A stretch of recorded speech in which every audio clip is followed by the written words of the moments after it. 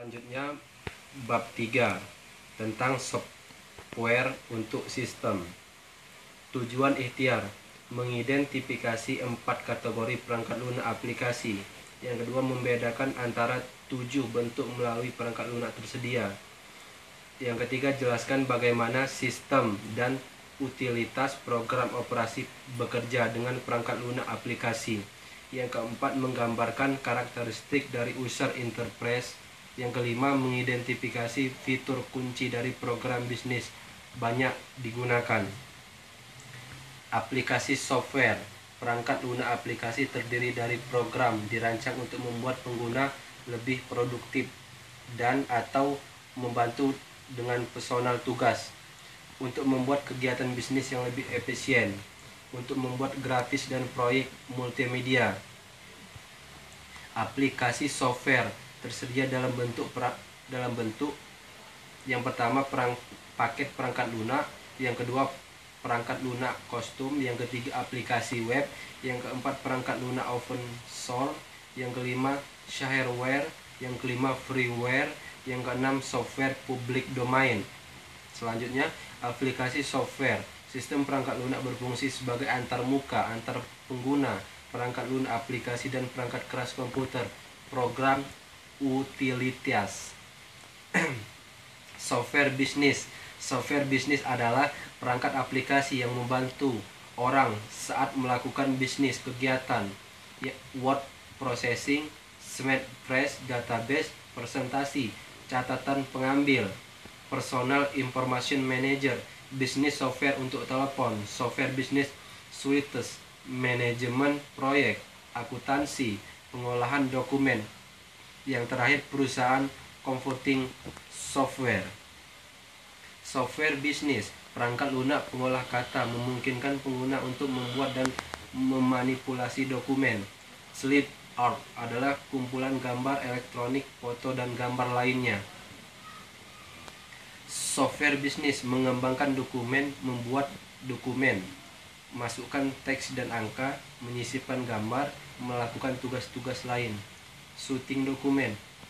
Lakukan perubahan konten yang ada uh, memasukkan menghapus memotong menyalin dan paste. Software bisnis software spreadsheet memungkinkan pengguna untuk mengatur data dalam baris dan kolom dan melakukan penghitungan. Software bisnis fungsi adalah pemula yang telah ditetapkan melakukan penghitungan umum Software bisnis database adalah kumpulan data yang ter terorganisir dengan cara yang memungkinkan akses pengambilan dan penggunaan data. Software bisnis catatan pengambilan perangkat lunak adalah perangkat lunak aplikasi yang memungkinkan pengguna untuk memasukkan teks di, diketik tulisan. Software bisnis, software suite adalah kumpulan program individu yang tersedia bersama-sama sebagai satu unit software bisnis skala bahwa versi perangkat lunak yang tersedia untuk bekerja dan ponsel pintar. Software bisnis perangkat lunak manajemen proyek, software akuntansi, perangkat lunak manajemen dokumen, grafik dan software multimedia. Ini bisa dilihat sendiri. Uh, software dan nah, grafis dan software multimedia.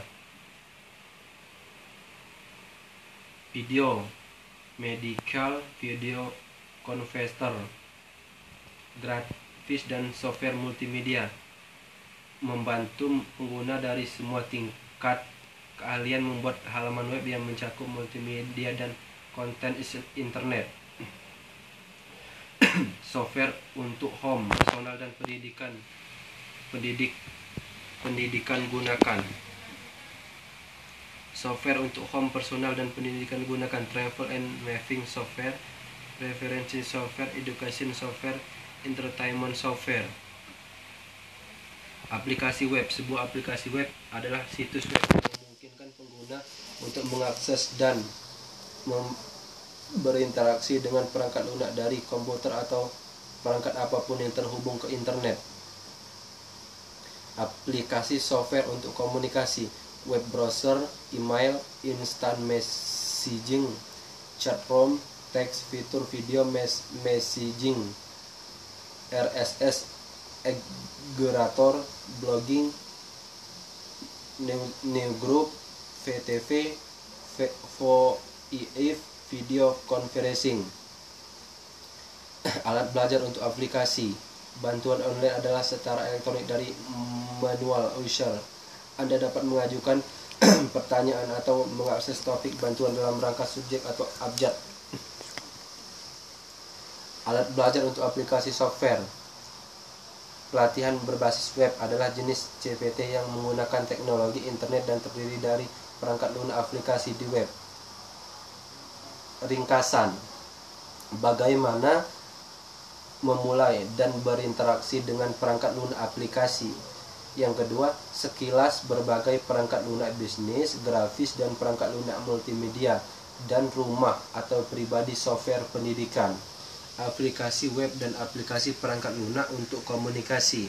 Yang terakhir adalah alat pembelajaran bagi perangkat lunak aplikasi dan pelatihan berbasis web. Sekian, terima kasih.